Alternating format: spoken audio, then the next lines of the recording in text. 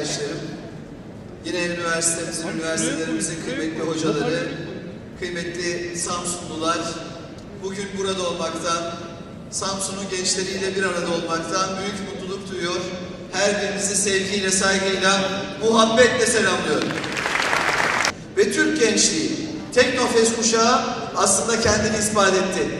Savunma sanayinde, havacılıkta, dünyaya parmak ısırtan başarı hikayelerinin sahibi Türk gençliği oldu. Ta ki 2000'li yıllarda bir sağlam irade gelip bu ülkenin neye ihtiyacı varsa biz onu kendi evlatlarımızın alın teriyle, akın teriyle geliştireceğiz, üreteceğiz diyene kadar. Ta ki o sağlam irade Türk gençliğinin önündeki engelleri bir bir kaldırana kadar ve önündeki engeller kaldırıldığında, imkansızlıklar ortadan kalktığında kendi yetkinlikleriyle, alın teriyle, akın teriyle Türk gençleri bayraktarlarla, ankalarla, akıncılarla, aksungurlarla, hürkuşlarla, hürjetlerle, ataklarla, gökbeylerle, kızıl elmalarla, kağanlarla gökyüzüne imzasını attı.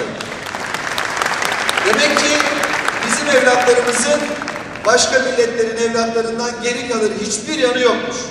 Yeter ki önlerindeki takozları, önlerindeki engelleri kaldıralım. İşte bu anlayışla Türkiye'nin milli teknoloji hamlesi yolculuğunda en önemli ödevimizi sizlerin önündeki engelleri kaldırmak olarak görüyoruz arkadaşlar. Ve Teknofestleri bu anlayışla düzenliyoruz.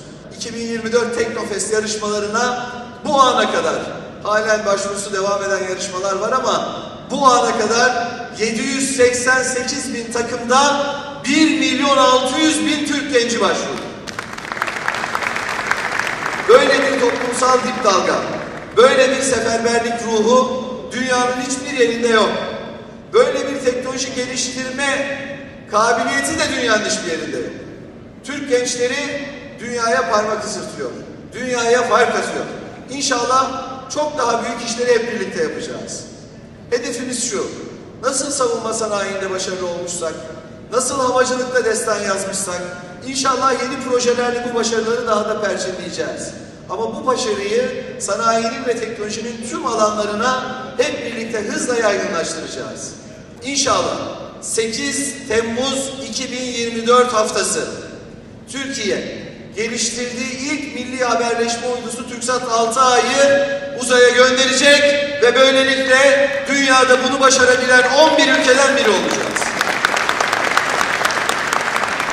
Bütün bu projeler sevgili arkadaşlar unutmayın sizler gibi gencecik insanların sayesinde oluyor. İnşallah daha ileri projelere de Türkiye'yi uzay alanında taşıyacağız. İmece dediğimizde yaklaşık 600 kilogramlık ve yaklaşık 600 kilometrede görev yapan bir uydudan bahsediyoruz. TürkSat 6A dediğimizde yer sabit yörüngede 36 bin kilometrede görev yapan ve 4250 kilogramlık bir uydudan bahsediyoruz. Daha ileri, daha sofistike bir sistemden bahsediyoruz. İnşallah sizlerin sayesinde Ay projesini de gerçekleştireceğiz. Ve hibrit roket motoru teknolojisinde şu anda dünyada en ileri düzeyde çalışmalar yapan dört ülkeden biri olan Türkiye inşallah Ay projesi sayesinde kendi geliştirdiği hibrit roket motorunu uzayda ateşlemeyi başaracak ve böylelikle bu teknolojiye inşallah uzayda tecrübe kazandırmış, tarihçe kazandırmış dünyadaki ilk ülke olacağız. Bütün bu alanlar Türkiye için çok kıymetli. Çok kıymetli çünkü uzay ekonomisi çok hızlı büyüyor. Yıllık 600 milyar dolara yakın uzay ekonomisinin büyüklüğü var. Ve bu büyümeye devam edecek. Önümüzdeki yıllarda 1 trilyon dolara çıkması öngörülüyor.